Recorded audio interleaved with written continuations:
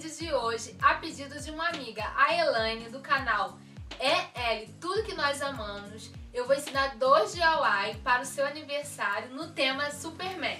Se vocês querem aprender, deixe seu like aqui embaixo. Não esqueça de se inscrever no canal e ativar o sininho de notificações. E vem comigo!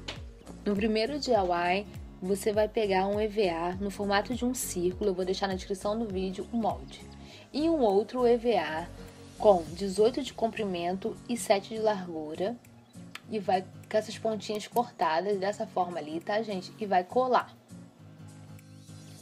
Essa parte de cima, gente, eu cortei com aquelas tesouras que elas fazem esses cortes aí. Mas se caso você não tiver, você pode cortar reto mesmo, que fica bem bonito também.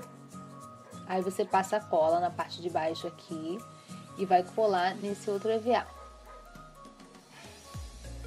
Vai ficar dessa forma aí, ó.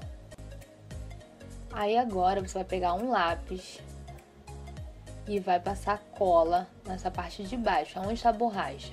Tem que ser cola quente, porque a cola quente é fácil de, de desgrudar, porque o lápis a criança vai poder utilizar depois.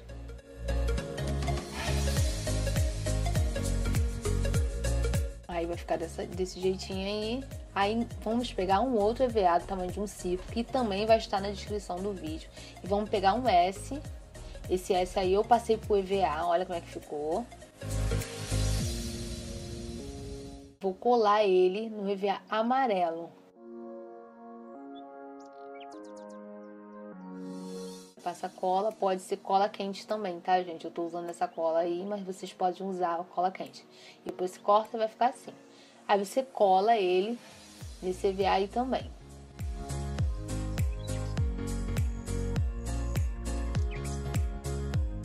Agora é só passar cola no lápis e colar ele ali na frente.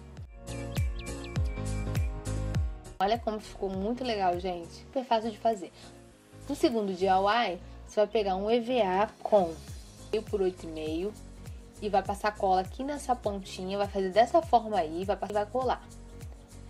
Aí você cola, vai ficar desse jeitinho e aperta um pouquinho para fixar a cola.